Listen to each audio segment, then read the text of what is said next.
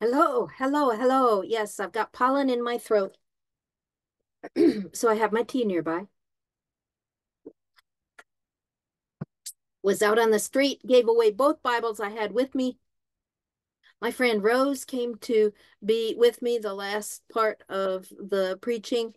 And then we went and looked at the property that I keep holding in prayer before God for maybe a church one day. Anyway, so we had a good time. It's glorious day outside, wonderful sunshine and blue sky and um, getting warm. Today, we're going to look at Matthew 20. We're doing the stories that are unique to Matthew, the parables that are unique to Matthew. And today we're in the one in Matthew 20 and I didn't get my Bible open, but that gives you a chance to open yours. Matthew 20 is where we have our story for today. It is such an uh, encourager for me to be preaching the word out there on the street.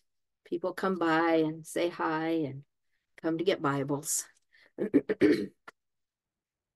Matthew 20, verses 1 through 16, and let us pray first.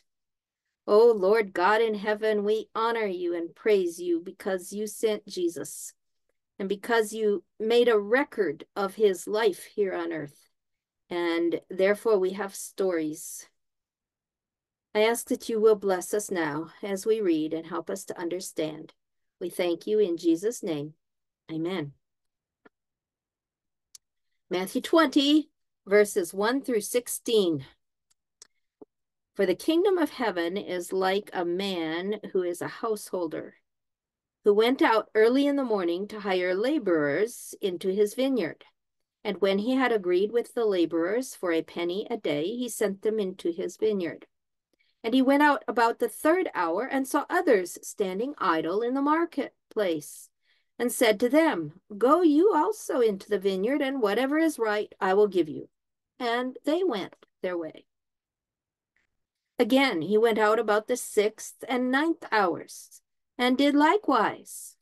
And about the eleventh hour, he went out and found others standing idle, and said to them, Why do you stand here all the day idle? They said to him, Because no man has hired us. He said to them, Go also into the vineyard, and whatever is right, that's what you will receive.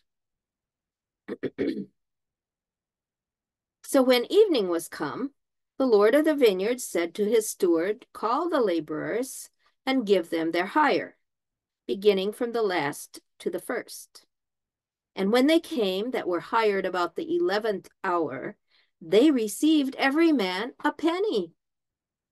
But when the first came, they supposed that they should have received more and they likewise received every one a penny. And when they had received it, they murmured against the good man of the house, saying, These last have wrought but one hour, and you have made them equal to us, which have borne the burden and the heat of the day. But he answered one of them and said, Friend, I do you no wrong. Did you not agree with me for a penny? Take what it is and go your way. I will give to this last, even as unto you. Is it not lawful for me to do what I will with my own? Is your eye evil because I am good?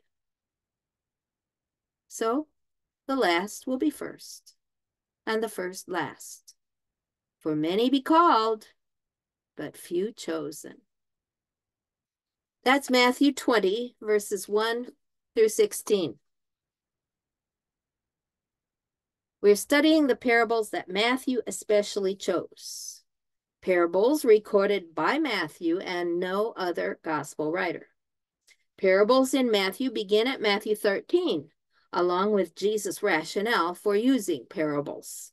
The first three parables highlight the phenomenal growth potential of God's kingdom and are included in other gospel records besides Matthew.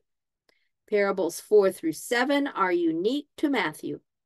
and they are about how things work in God's kingdom.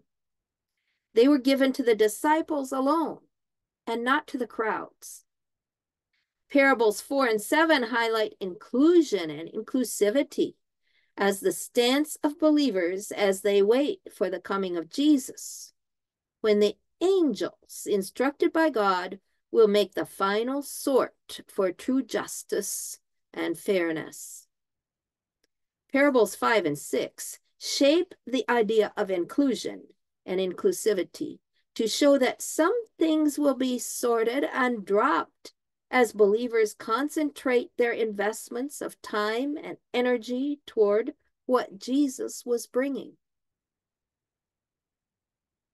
Other parables are scattered throughout Matthew, three more being unique to Matthew, especially chosen by Matthew. The first of these, the king with an indebted servant, shows how forgiveness is imperative in policies of inclusion and inclusivity. Yet this parable also shaped our ideas of inclusion and inclusivity for those we have forgiven. The second parable, the man hiring workers, will teach us more about God's policies of inclusion and inclusivity. The third parable, the man with two sons and a vineyard to work, will show how some exclude themselves from the blessings of working with God. Now, the parable of the man hiring workers. The setting of this parable is that they had been talking about wealth in money and possessions. Jesus had reiterated that a believer has to give up dependence on wealth in order to follow him. The disciples felt approved, seeing that they had given up everything to follow Jesus. Yet they were worried about their reward. I imagine Jesus looked at them with love when he told them, Oh, you will be rewarded 100 times as much as what you left, but not in the ways you might expect. First and last often trade places. Now, hear the parable. Heaven's kingdom is like a man who goes to the marketplace early in the morning to hire workers for his vineyard. He agrees with those he hires for the going rate of pay for a day and sends them off to work. About 9 a.m., he sees more potential workers and tells them to go into his vineyard and he will pay them what is right.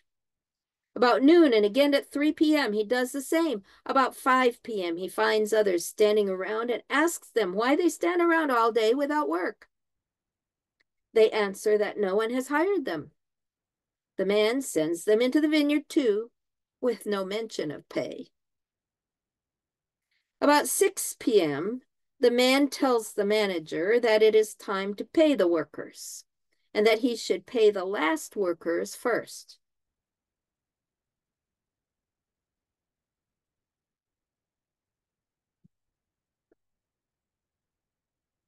He pays them a regular day's wages. This is why the workers hired first expect more and are disappointed and grumble at the man that he had made those who worked only a little equal with those who had worked much longer and under harder conditions. Friend, said the man, I have no malice toward you. I met the terms of our agreement. Take your pay and go. I choose to give the last worker the same as you. It breaks no law for me to do what I want with my own money. Does your envy grow in my generosity?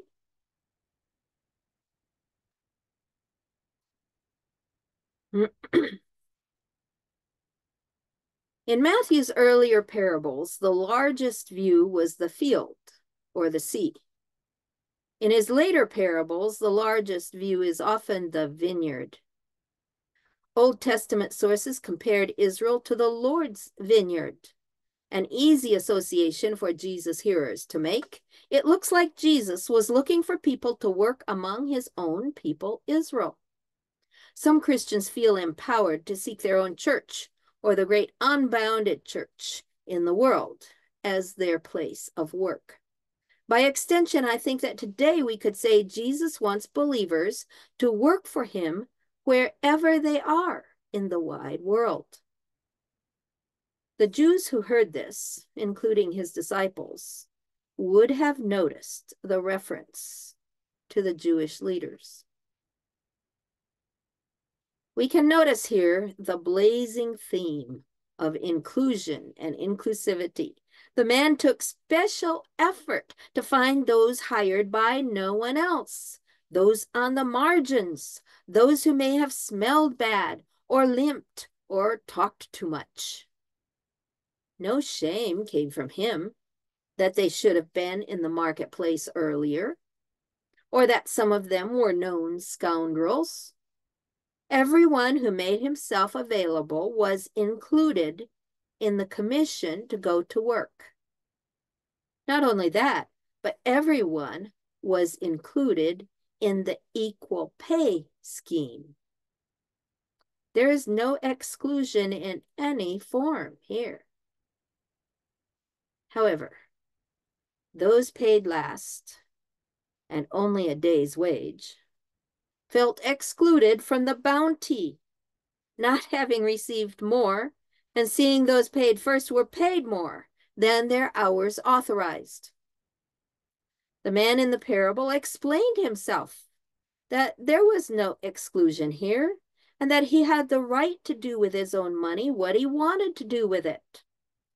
Similarly, if God has the same right, we should not be surprised if we cannot direct God's hand or shame God for God's choices. The first and last often trade places when least expected. My sense of fairness has a problem with this parable and its indiscriminate generosity. This was obviously not equal pay for equal work. One might claim it provided equal opportunity for the worker to begin the next day.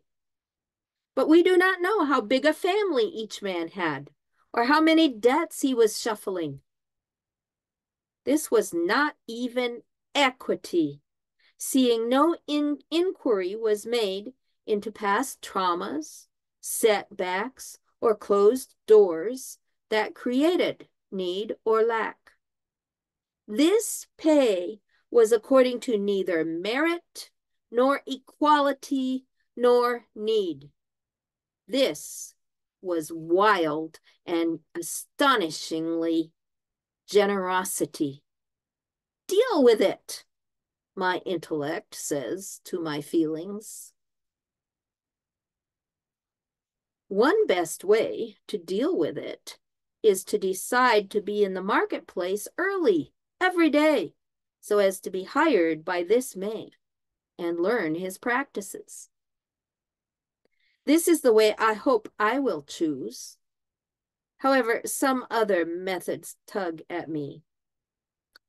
On the one hand, I could decide to hide from him until the last hour tomorrow to get paid again at an outrageously high rate. Yet, obviously, I cannot know for sure if he will come at that last hour tomorrow. And neither can I know if his pay scale will be the same tomorrow. On the other hand, I could decide to protect myself and never work for that man again or never let my expectations fix on anything again, especially not on fairness. Yet this man seems so kind and reasonable, so unreasonably inclusive, that I am drawn to him and I want to work for him, disappointments and all. The parable of the man hiring laborers or workers teaches again about inclusion and inclusivity and how the most astonishingly generous inclusive action can leave some feeling left out. We are to work for inclusion and inclusivity anyway.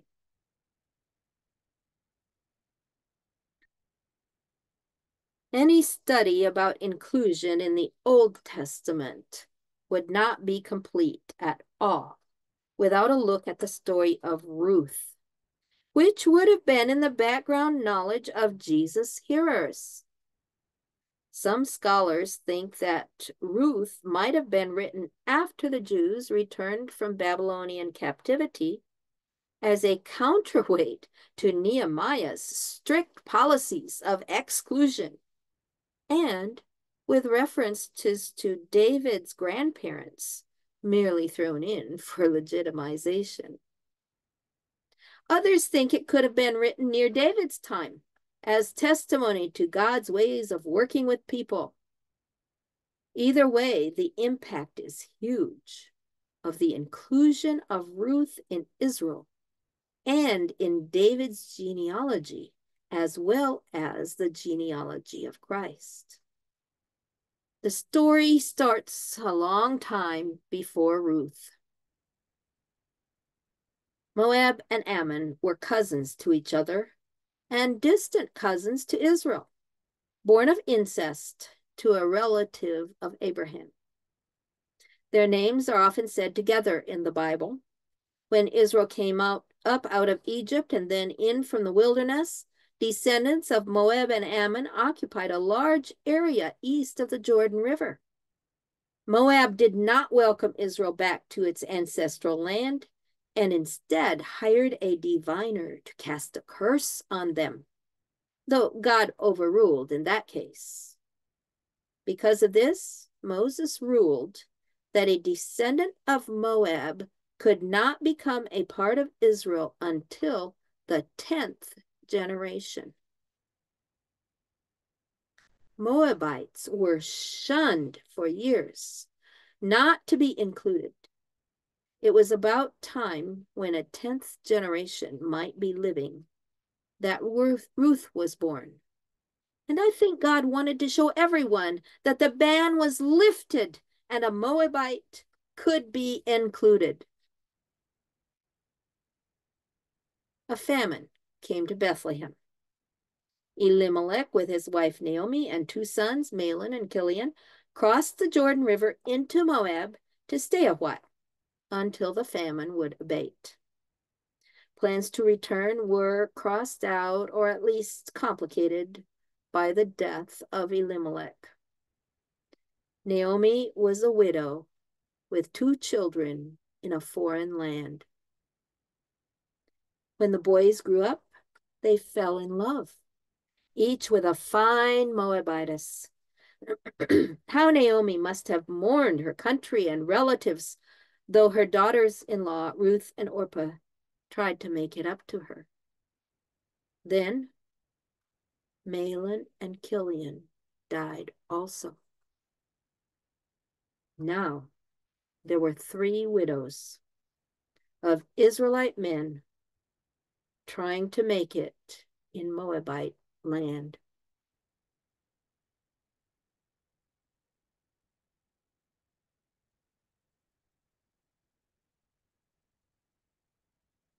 Finally, Naomi, hearing that food was available back home, determined to return and live the widow's life of poverty among her own people.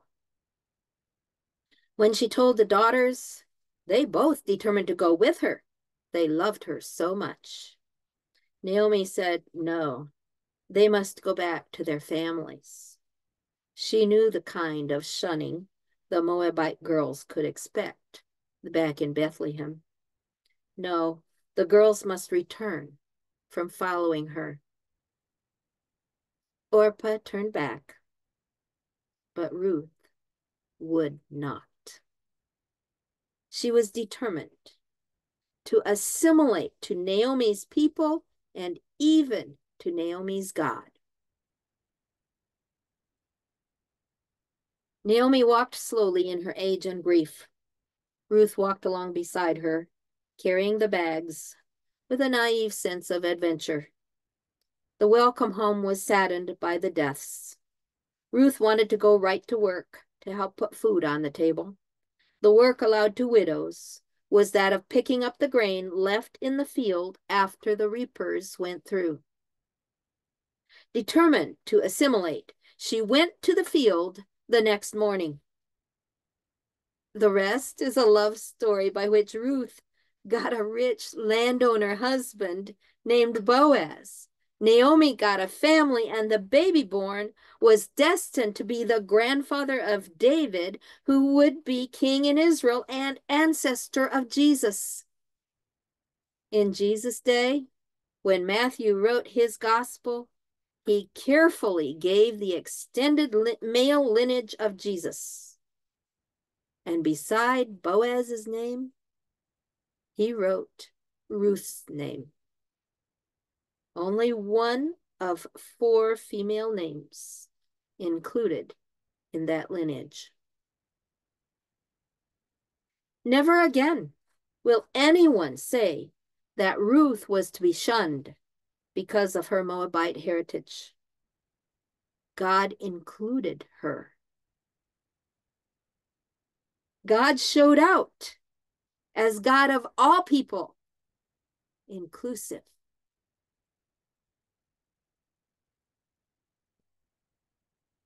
So I want to pray for us.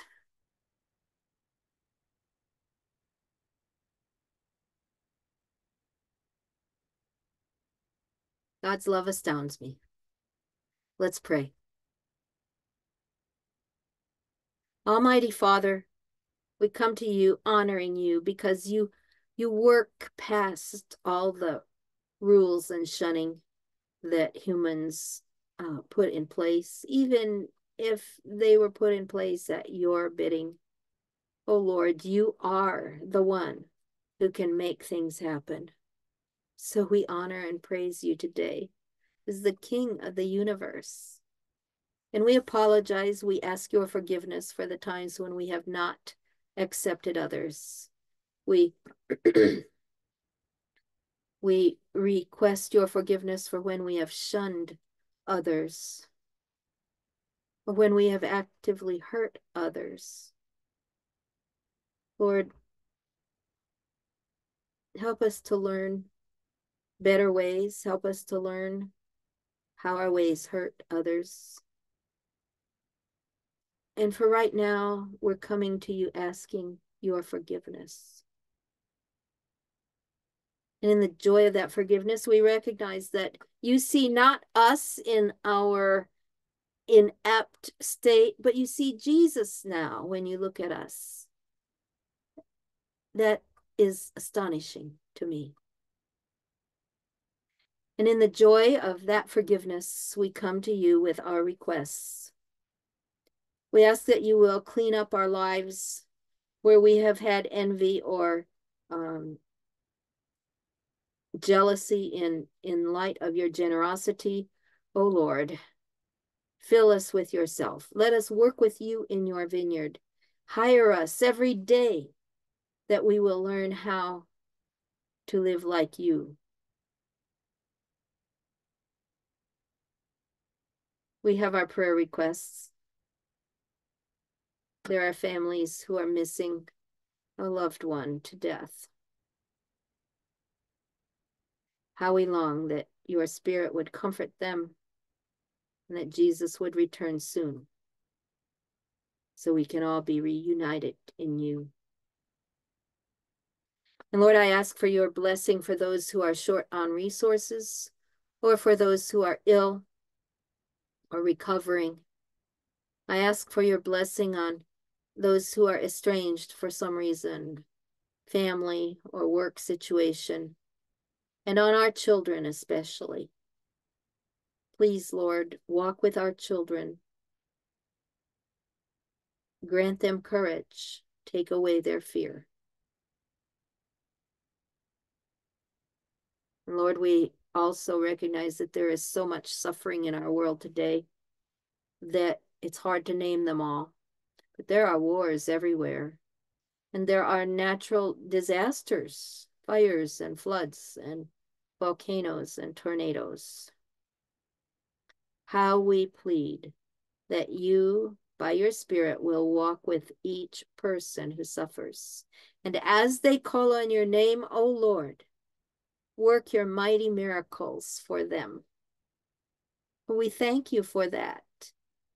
Sometimes I feel horribly impotent in the face of all the suffering around. And yet, Lord, you, you can be there. So teach us to work in your vineyard with you and to learn of your ways. And one day we will be praising you in heaven. We will give you all the dominion, the power, and the glory forever. We've asked it in Jesus' name. Amen.